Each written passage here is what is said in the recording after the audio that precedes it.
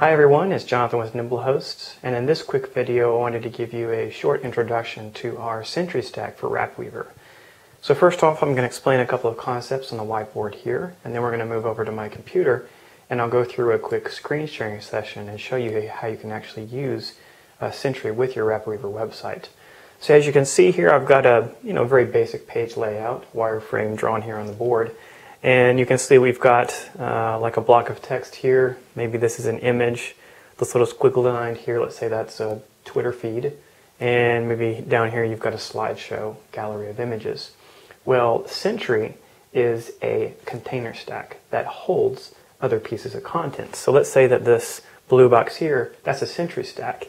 And this uh, block of text is what you've been placing inside of the Sentry stack. And likewise for this image, the blue outline is the Sentry stack, and then the image that you put inside of Sentry, that's the content itself. Now the beauty with Sentry is that once you've finished your website and you've published it, you can then access your website remotely from any web browser anywhere in the world and any of the content that you've placed inside of Sentry you can control. You can remotely hide or display it um, even when you don't have access to RapidWeaver. You simply log in directly to your website.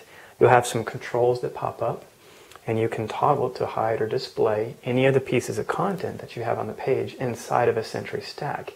And you can have lots of content inside of a single Sentry stack. You can have multiple Sentry stacks on the page. They'll all show up. You'll all be able to edit how they are displayed. And so that, in a nutshell, is how the Sentry stack works. And I think you can see the possibilities and how you can use this with your website. Let's say, for example, the, the Twitter feed is broken. It's not showing anymore for some reason, and you've got this big blank block of space. Obviously, it'd be nice if you could hide that until you can figure out what the problem is. Or let's say that there's a typo in this block of text here. It's kind of embarrassing. You want to hide it until you can get back and fix it later. Those are all examples of how you can use Sentry with your RapidWeaver website to control that even when you don't have access to RapidWeaver. So hopefully that gives you a basic rundown of how Sentry works. Um, we'll run on over to my computer and I'll show you how you can actually use it with your RapidWeaver website. Alright, well we're here back at my computer and I've got a RapidWeaver project file open. Uh, the official Sentry uh, demo site actually, or demo page. Uh, where you can see how we've set up uh, the Sentry stack. Um, and I'll show you the actual website itself here and how exactly you can log in. So you can see we have our Sentry stacks located here, and this particular Sentry stack is holding um, the masonry uh, slideshow, say design slideshow, and down here we have uh, a two column stack, just a standard two column stack, and I've placed the Sentry stack inside of both columns and then I have just regular text stacks inside of those. You'll notice that these two Sentry stacks down here at the bottom have like a little warning note. It says please enter account login details only once per page is necessary. You'll notice that the Sentry stack here at the top does not display that warning. And if we move over here to the Sentry configuration details, you, see, you can see that I've gone ahead and entered in the uh, online account information that you'll use uh, or that you'll actually need to enter and use on your own website. And you can see what I have set up here for the, for the demo site for people to actually test drive how this works. So as long as you have entered this information into the first Sentry stack you have on the page, you don't have to enter it on the ones below. You can use that same online account information when you're logging in. And you can see here the other Sentry configuration options. We've got uh, this main toggle switch here, which is allows you to hide or display the content. Um, and of course, if it's checked, it's going to display it. If it's unchecked, it's not going to display it. And beyond that, you can um, specify the exact time frame here uh, until a certain date, after a certain date, between two dates, and you'll have some dates here where you can uh, enter in the specific dates. Um, and you'll have, again, the format here is displayed. So uh, you'll, I think it's pretty self-explanatory, but the Y stands for year, the M stands for month, the D stands for day, the H is for hours, the M is for minutes, and the S is for seconds. So uh, let's say, for example, we wanted to do December 25th, we would do 2014. and we do a hyphen and then 12 for the month another hyphen 25 for the day. We have a space and let's say we want this to display at noon. So we're going to do 12 colon and then we'll just use zeros to be exactly on noon. And so that's the date format that you'll want to be using in both of these fields if you decide to use these features to specifically hide um, during specific dates or times. So that's a quick run through of the configuration and you can see how we, how we have everything laid out. Let's go ahead and take a look at the actual website itself. And I have it open here. I'm going to go ahead and refresh the page and make sure. And yep, you can see that we everything is showing up as per our settings in RapidWeaver. We can and everything works just like you would expect it to. This is the masonry slideshow, a really great slideshow by the way. And you can see we have our two columns of text right here. So when you're on your website here and you want to hide something or you want to adjust um, a setting with, with Sentry, how it's displaying things, in order to trigger the login window to display, uh, we have created a process that's very, very similar to what you may already be familiar with if you use a smartphone, and that is to tap and hold for, say, you know, a couple of seconds. And for example, on the iPhone, if you tap an icon on your screen and you hold it, then it'll start to wiggle and you can move things around, you can delete things. And we wanted to keep that familiarity when we created the Sentry Stack. So let's you can do this with a smartphone, with a tablet. Um, on a desktop, you're just going to click your mouse and hold it down.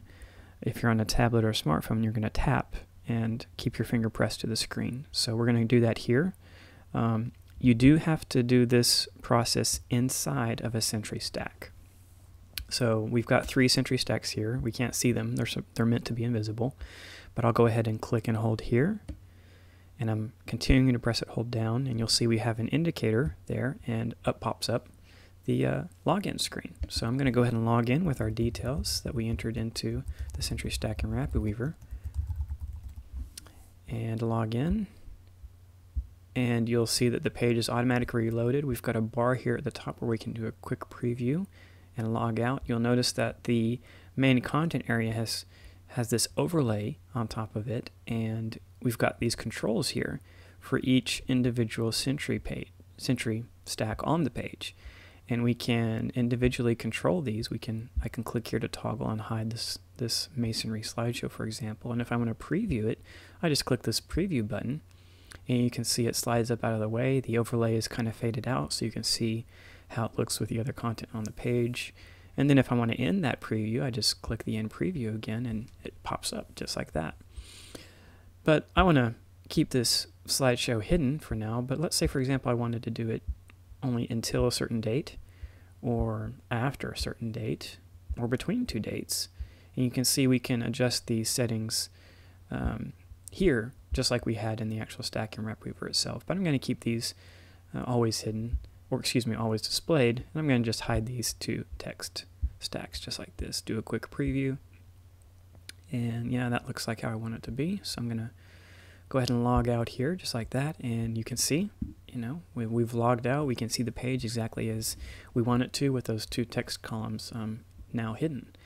So hopefully that gives you uh, a feeling for how you can use Sentry with your website. Um, but you may have a question, well, what happens if we hide all the Sentry stacks on the page how am I going to know where to click to display that login page? And that's a good question. So let's say, for example, we actually did that by mistake. I'm going to go ahead and log in here again. And we'll log in and we're going to use these information details from before. And let's say I hide this, or let's say, say for example, it was displayed, but I had it until a certain date or after a certain date and it's just not showing up anymore. Um, so now we have a completely blank page, and if we try and click on the page and bring up the, the login screen, nothing's happening. Well, how do we access the login screen now? Well, that's real simple. We go up here to the URL, and you'll see that after we log out, we've got this this little snippet here. Uh, you know, it says question mark action log out. Well, if we just change this to question mark action log in, like so, then we get prompted with this login form and we can just log in just like before with those same details and we can now make changes to our website even though we couldn't access the Sentry stacks directly. So again, uh, if you're unable to get the login form to display just by clicking and holding or tapping and holding, um, that's not a problem. Just access the URL in your browser um, and you'll want to enter a question mark and then action and then log in just like so.